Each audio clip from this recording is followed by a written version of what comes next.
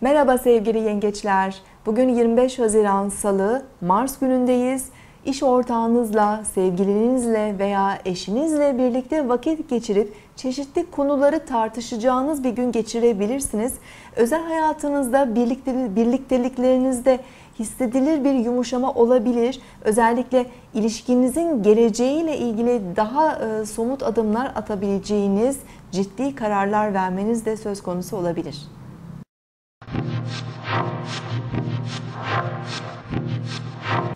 Burcunuzu dinlediniz. Bugün 25 Haziran Salı, Mars günündeyiz.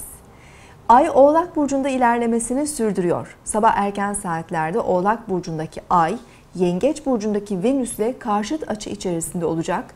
Ay-Venüs karşıtlığı kendimizi biraz güvensiz hissetmemize neden olabilir. Sevgi ihtiyacımız artabilir. Sosyal ortamlarda e, özel ilişkilerde e, bazı sorunlara neden olabilir. Bunun yanı sıra e, Venüs Yengeç burcunda ilerlediği için evimiz, ailemiz, yakınlarımız, sevdiklerimiz, güvenliğimiz ve vatanımızla ilgili konulara da dikkat çekiyor bu durum.